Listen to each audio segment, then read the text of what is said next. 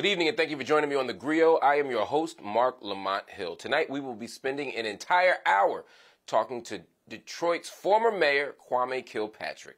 From the State House to the Big House, Kwame Kilpatrick has been through his share of triumphs and trials. And in 2001, we got to know him when he became Detroit's youngest mayor when he was elected at the age of 31. His first term, while celebrated, was also riddled with criticism, including accusations of misuse of city funds and a city issued credit card. But despite that, he was successful in his run for a second term. In September 2008, however, he was forced to resign because of numerous scandals. And in 2013, Kilpatrick was sentenced to 28 years in prison after being convicted on 24 counts, including uh, bribery, conspiracy, extortion, and fraud and his sentence was commuted to the shock of many in 2021 by former President Donald J. Trump. Later that year, he launched Movemental Ministries. He wrote a book called Off the Grid, A Journey Back to Destiny, and now he spends his life with his new family, his mission, and his ministry. And he joins us right now. Kwame Kilpatrick, my brother, welcome to the Grio. Man, that's a whole life in a quick synopsis, brother. That was good. I, I, I did my best, man. A little, little something, little something. T- tell me though the stuff that we don't know. You know, a lot of times people think your life began in 2002 when you became the mayor. How'd you get there? What what drove you to that space where you wanted to be a politician? Well, I grew up in the city of Detroit, where our mayor, my entire life growing up there, was Coleman Alexander Young. And I, I just, he hmm. was my hero. I wanted to be just like him in terms of politics. But then my mother and father were also elected officials. My mother was elected to the state house when I was eight years old. My father was elected to the Wayne County Commission when I was uh, about 10 or 11 years old. And so I grew up campaigning. I knew how to run a campaign by the time I was 14 years old. Went to Cass Technical High School, got a football scholarship to Florida A&M University. But back when I was in grade school in Detroit, I won a contest, a Black Studies contest, where the winner got to meet the mayor of the city. And I went to the mayor's mansion. It was about a 30 second meeting with Coleman Young. He shook my hand. He said, Hey, big fella, you know, one day you could be mayor. And what I heard is one day you're going to be mayor. And so from that time forward, I was telling everybody, I'm going to be mayor of the city and be mayor of the city. And when I came back home, I taught school in the Detroit public school system for three and a half years. And then I ran for office at 25 years old. I ran for the state house, my mother's former seat. She went on to Congress. And I ran for her former seat and won. And that started my career. I was the first African American and the youngest person in the history of Michigan to be leader of the state house. And then I launched um, into the mayor's office where I won my campaign and then won re-election. I talked to a lot of politicians from state houses all the way up to presidents, and there's two kinds of people I meet in all those positions people who want to change the world and people who want to run the world. When you decided you want to run for office, what was your vision? What, what was your motivation for wanting to be the first mayor of Detroit? I most definitely wanted to change the world. I grew up in a city that was uh, the butt of all jokes uh, for throughout the 1970s and 80s. Um, they were saying things like the last person out of Detroit turned the lights out. Um, everything I ever saw on television was inferior uh, about Detroit. It was it was portraying us even within the region, as you know, back then, and even as late as the 2010 census. Detroit was the most racially segregated region in the country. 84% black city, surrounded by 84% whites, and so white suburbs. And so it was this constant race friction. And so I grew up being able to talk to anybody. I was leader of the state house. It wasn't but 18 black folks, and they, they elected me leader out of 110 people. And so I was able to talk to people, uh, build with people, and I wanted to change uh, the world. I didn't definitely didn't want to run it. I had no visions of grandeur of being president or anything like that. I, I just wanted to change how Detroit was introducing itself to the world. And I think we did that in my term. And also, at the end, I was the reason why we got the bad name again. Well, talk to me about that part because somewhere between that wide eyed young man in the state house and that young mayor, people call him the hip hop mayor, all that stuff is happening. But then People talking about you driving, or your wife at the time driving Lincoln Navigators. People are talking about spending too much money. People talking about parties.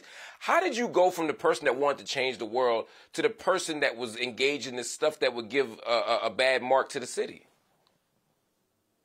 You know, I think it was part of uh, youthful exuberance and uh, stupidity, um, some pride and arrogance, uh, mixed with the, the niggerization process. And I'm gonna say it just like that. If We on the Grio. Let's talk about it. Um, mm. We, uh, you know, we leased the car for twenty thousand dollars for two years, and it became, oh, he got this fancy car with rims on it. No rims on it, nothing.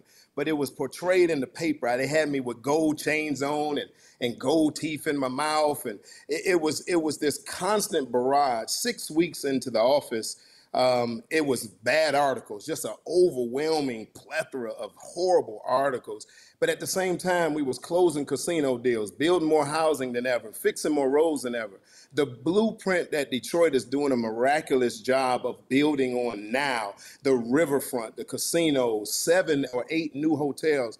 You know, Marc, I, there hadn't been a new hotel in the city of Detroit since 1989 when I got there in 2001 we built seven hotels in five years. So you weren't hearing about the, uh, my work, you were always hearing about me. And I think that was the issue. And I, I, I, believe real Detroiters, those people who have been there throughout the entire period, they understand the difference, but they also saw a proud and arrogant man. You know, you get to the point, I used to watch Coleman Young cuss people out on TV, and I would wonder, why is he doing that, even though I liked it? Why is he doing it?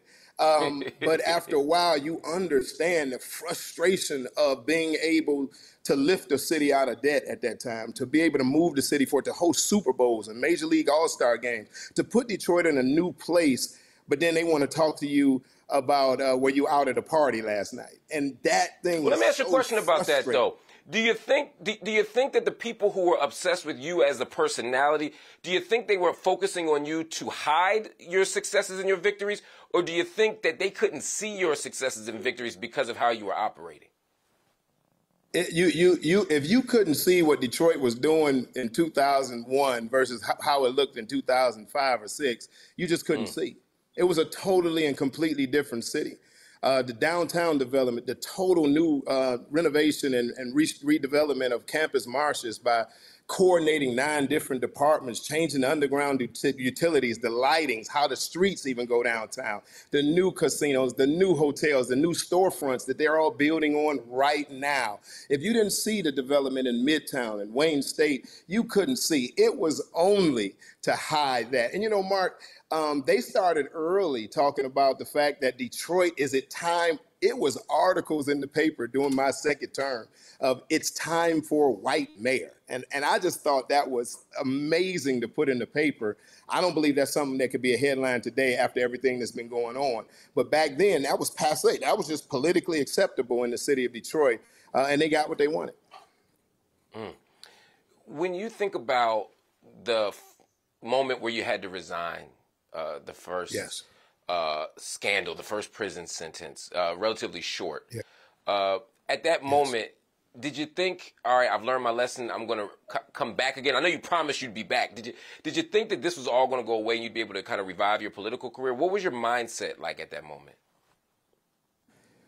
Um, I was not talking about politics at that time. Um, mm. I was not interested in being elected even then. Um, in 2008, my mindset was that I've been stepped on and squashed. A lot of it I brought on my own self, a lot of stupid decisions, a lot of um, pride and arrogance. Um, I was really thinking about coming back from that and being the man who God had called me to be originally.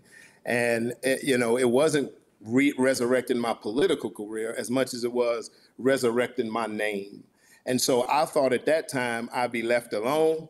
I can go off and, and, and relocate. We moved to Dallas, Texas. Uh, my sons graduated from Dallas schools, um, and I thought we could live our lives. And little did I know that the feds have been investigating me since February 4th of 2002. Exactly one month after I took office, they opened up a, an investigation on me. One month after you didn't even have time to break the law yet. Look, I think you did some stuff wrong. We're gonna talk about that after the break. But the idea that the investigation started basically as soon as you, uh, you know, got got, got the, the, the drapes up in the office is something that's stunning to me and something that I I only see happening to us, and by us I mean black folk. Kwame, hang right there. We're gonna come back. Everybody on the Grio. We're here with Kwame Kilpatrick all night.